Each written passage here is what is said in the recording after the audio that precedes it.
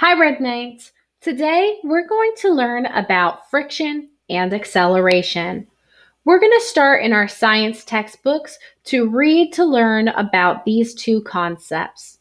Let's get started. Friction.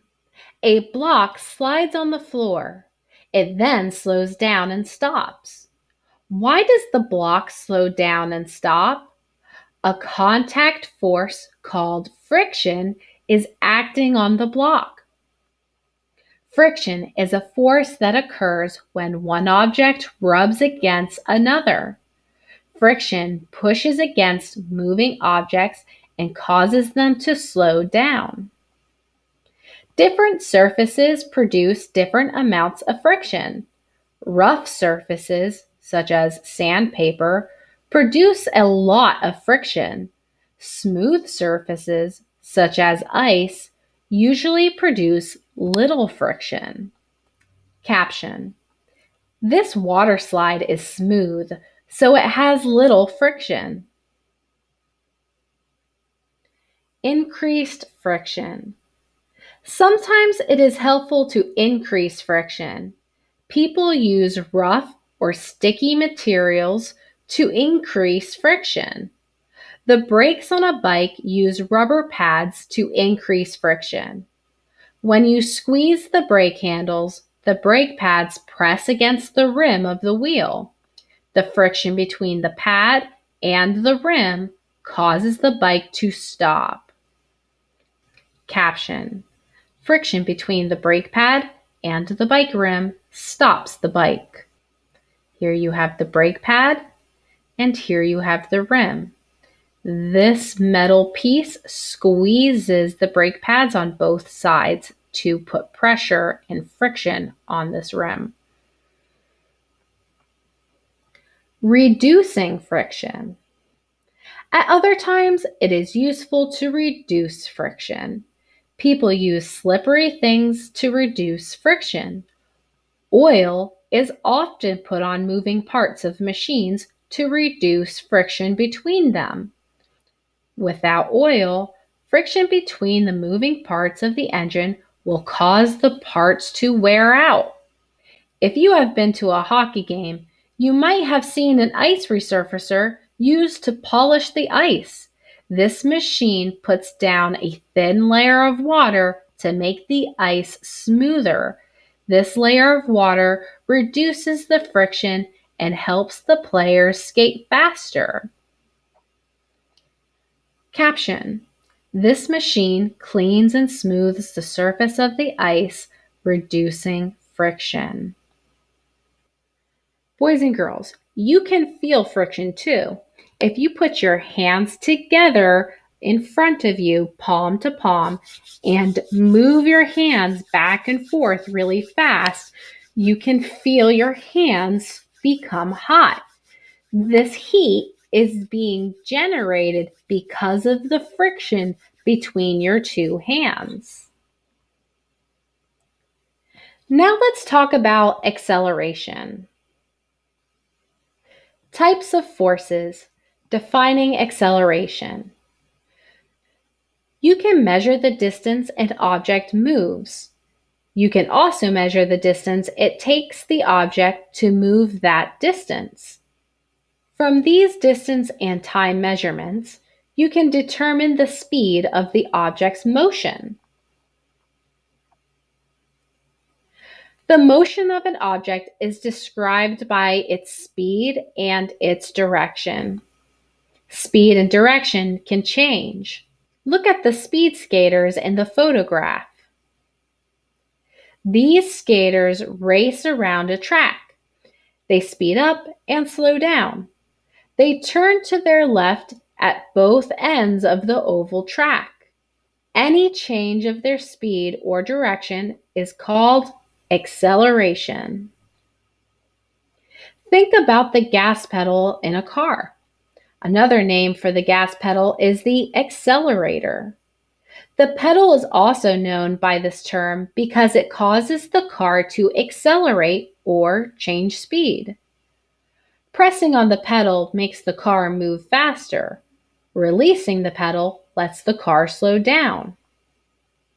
caption. The skaters accelerate when they change speed and direction around the track.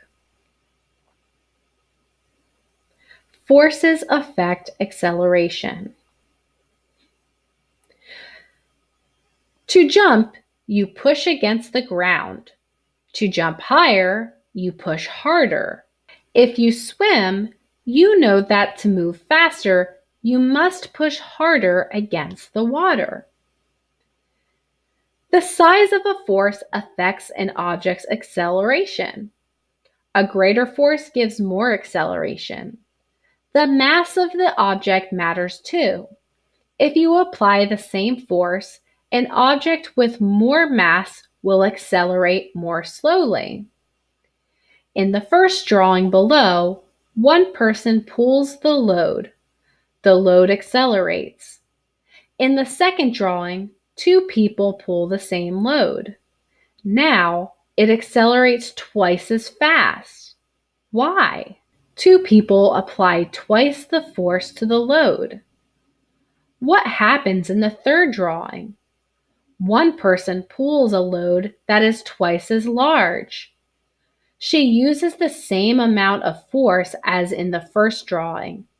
The load accelerates half as fast. Skill Builder. Read a diagram. Look at the green arrows to determine which load is accelerating faster. So down here we have the diagram. We have three trials. Trial 1, Trial 2, and Trial 3. In the first trial, she is pulling the load by herself. And you can see that the green arrow only goes about halfway. In the second trial, there is two people pulling the load. With two people, there is greater force than there was in the first trial. Do you see how this arrow showing force is only about half of the force that we now have with two people? In the third trial, they add another pumpkin. So there's two pumpkins which makes the load heavier. So now in this trial, she has a heavier load and there's only one person to create force. So this green arrow shows that there is only a tiny bit of movement, a little bit of acceleration.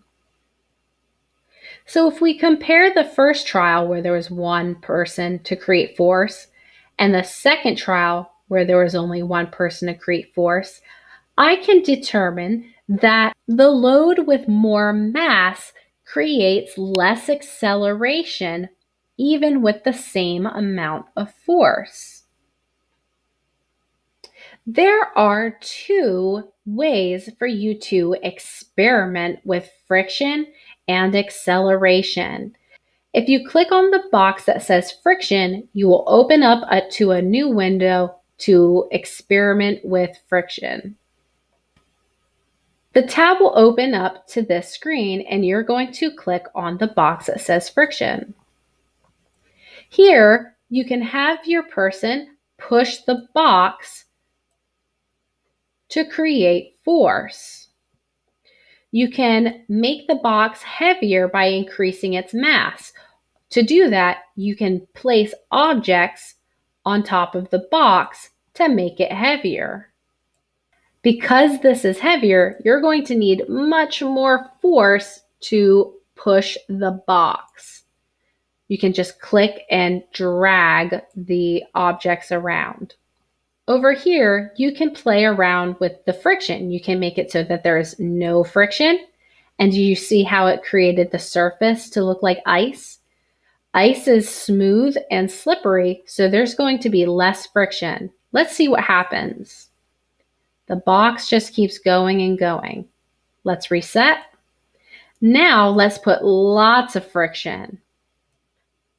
The ground is now like gravel. Let's see what happens when they try to push.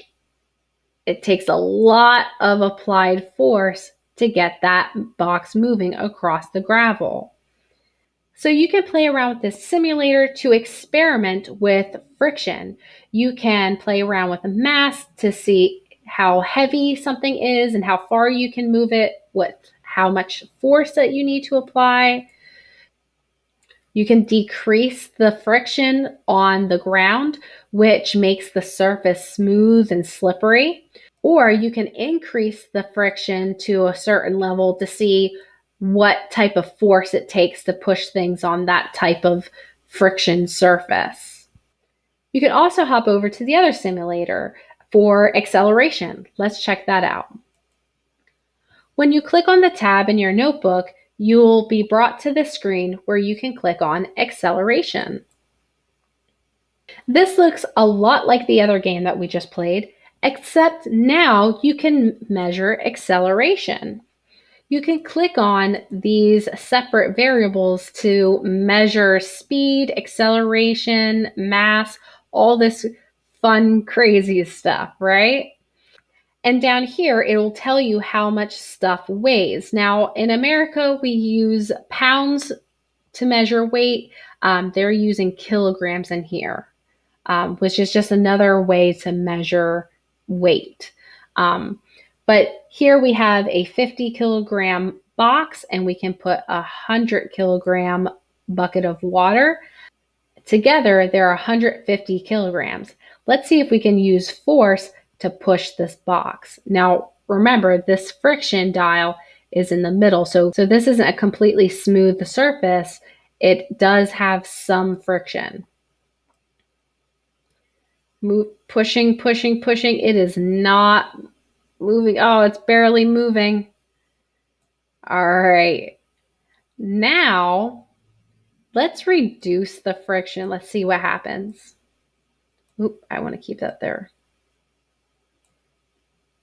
moves a lot easier. All right, boys and girls, I hope you have a whole lot of fun experimenting with friction and acceleration using these simulators. You can also find objects around your house like toy matchbox cars and other objects that you can push and pull to experiment with friction on different surfaces and to see its acceleration. All right, my third grade scientists, bye for now.